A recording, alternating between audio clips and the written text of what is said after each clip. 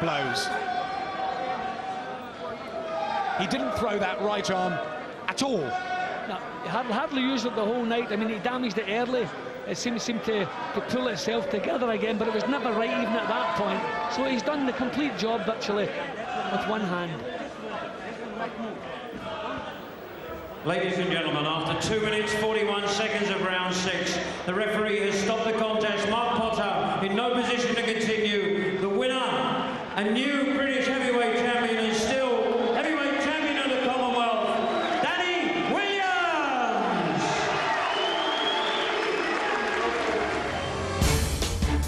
That's it for this episode of the Boxing Files from KOTV Classics. Until next time, bye bye for now.